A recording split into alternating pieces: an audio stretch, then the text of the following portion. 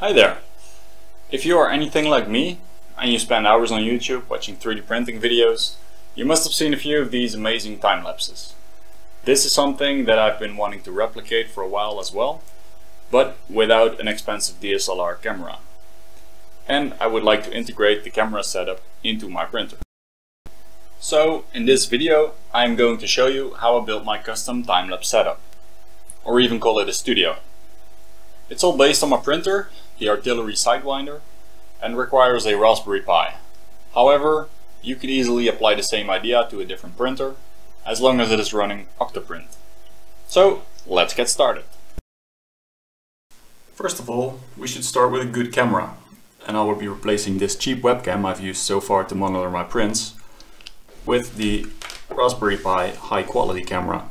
And I paired it with the official wide angle lens and it can be directly connected to the Raspberry Pi using a ribbon cable like this, although I'll be using a longer one for this build. Of course, any decent video will require good lighting and therefore I will be adding two of these affordable video lights, which set me back about 15 euros each. These lights come with a white temperature color mode and have outstanding brightness for their size. Also, they have an RGB color mode so they are quite versatile. Though I don't know if I'll really be using that, but it might be fun to experiment with. Especially on prints with white filament, I could imagine this could give a nice effect to the print. I've included their gimbal mounts as well, which are a bit bulky, but they function good enough to do their job. Now, let me show you how I'm planning to connect all this gear to the printer. I wanted to sort of integrate everything onto the printer so I can easily move the whole thing around. So therefore I've designed this part in Fusion, which connects to the aluminum extrusion of my y-axis with two M4 bolts and some T-nuts. In order to mount the camera and the lights, I have created three cold mounts on the top and the sides which uh, allow for easy mounting of the ball heads, which will connect to the camera and the lights. Also, there is an extension piece, uh, which allows for an alternative viewpoint for the camera. And I might use that to get larger prints into view if necessary, or maybe it just looks better in general. And this can also be secured with an M4 bolt. Now for some neat cable management, I've created some internal channels. And this bottom one uh, guides the ribbon cable that goes to the camera. And the top one can guide the USB cable which powers and controls the lights. And as you can see, these internal channels go all the way down into this triangular part where you can exit the part and that is my design.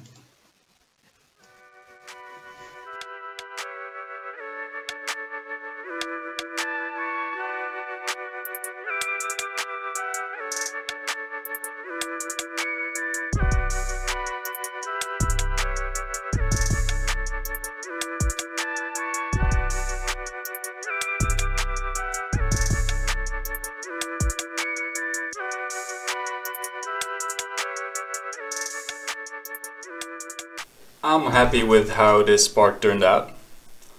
Although this is a redesign if I'm perfectly honest. But hey, it happens. I'm uh, trying to stick with the blue color scheme of my printer. But what I'm really eager to see is if those internal channels work as they should. Let's give it a try. With the ribbon cable first. Should go in here. And that goes in surprisingly well. Wow. That feels good. That makes me happy. Awesome. Let's let's try the USB as well.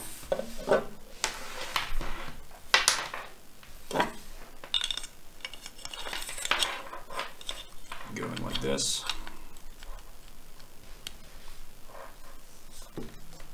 Wow, not bad. That works exactly like it should. That is perfect. Awesome. Now there is one more thing I want to do before I can put it all together. I want to be able to trigger these lights on and off, so I am only using them when a photo is taken. If I couldn't control them and just had them on all the time, they would just be wasting energy 99% of the time, since we only take a photo once per layer. And, well, who likes wasting energy? So, my first idea was to just take out the battery and switch the USB-C input power on and off, as that would be very simple. And that seems to work okay-ish, but I found out that these lights will then always start up in the white light mode. So it wouldn't work with the RGB colors, which would be a shame. And I'm not 100% sure it will work reliably. So I've put the battery pack in and now I'm going to try and see if I can trigger the manual on off switch instead.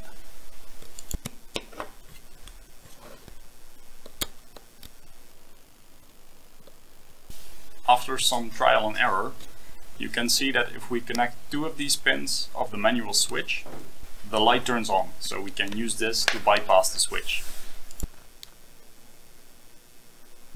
So all I need to do is solder two wires to these pins and exit them through the switch cover hole.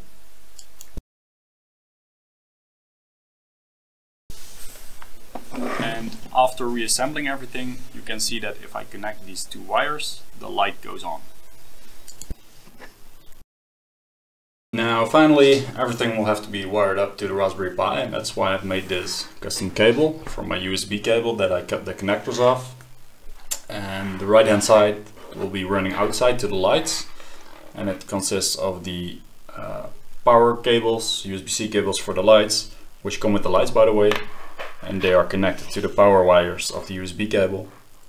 And here we have the cables that trigger the lights and they're soldered together to the data wires so they will be uh, triggered simultaneously but, and that's all going to be covered in some heat shrink to make it look nice and on the other side we have a DC-DC uh, converter which powers the lights and I did that because uh, each light draws 1 amp and the Raspberry Pi could technically handle that but it's only got a 3 amp supply itself so I didn't want to take the risk and I put this uh, separate converter in there. So this side is a 24 volt input that goes to the main power supply of the printer.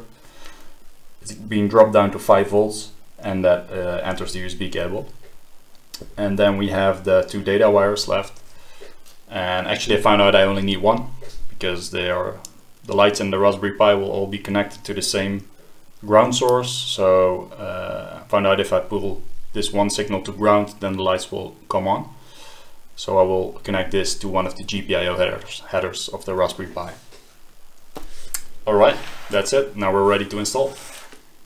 No, actually we're not ready yet. Because I messed up a little. Uh, actually we do need both wires. The thing is, what I forgot to take into account is that if you run 2 amps through a wire, you get some voltage drop.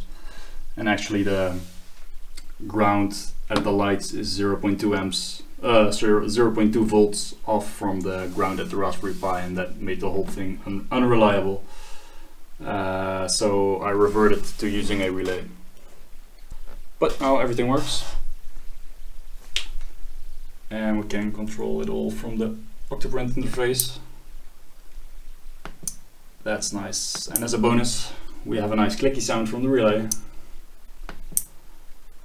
So it's a long night, but I'm happy.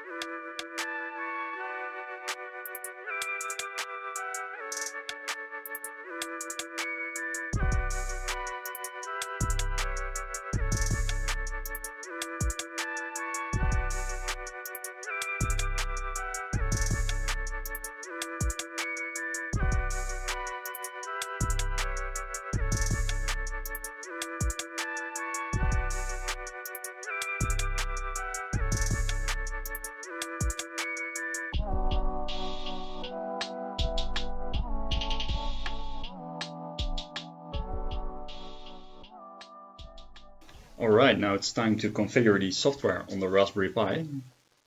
I'll be using, of course, the Octolapse plugin made by FormerLurker. And he's got a great wiki to get you started on creating your own print profile and your camera default settings. And I'll be covering my additional settings. So let's go to Octoprint, to the Octolapse tab, and your camera will need to be set up as a DSLR for the best quality. So that's what I did, and I'll show you my camera profile. So first of all, we need to create a snapshot script, which uh, is based on the DSLR script that is given in the wiki. And all we need to do is replace this call to gphoto by a call to raspistill. And you can add all your preferred settings for the camera in this path. Additionally, I've created these four custom scripts that are executed before and after the print starts and before and after every snapshot is taken uh, to control some custom settings. So before every print, we run this line of code that stops the streaming service uh, because the camera can only be accessed by one application at a time. And if I, we don't do this, the uh, call to raspistill will be blocked. And after the print, I'll turn it on again. So the downside of configuring as a DSLR is that you cannot monitor your prints, although you could also run this command in between snapshots, but that will add about 8 seconds for every snapshot, which is uh, tricky with respect to printing. Now, before every snapshot, I want to turn the lights on, and that's what these lines of codes do. So I'll set GPIO 20 as an output first, and then I'll toggle it high with this command. And after every snapshot, I'll do the opposite by toggling it low. So let me show you how to create such a script. Taking the example of the before snapshot, by logging into the Pi first, creating a new terminal. Then I'll cd into scripts, create the before snapshot file using nano, copy in this bit. The first line, by the way, is always necessary for a shell script. Press Ctrl O to save, enter, Ctrl X to close. And we'll see that the file has been created. Now in order to make it executable, we'll need to run this line. And we can see that the line, the file name has become green, which means it's executable now. So if we go back here, we can test it. And we'll see that the lights come on.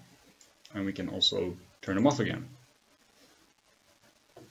Now we can save all that and we are ready to make some awesome time lapses.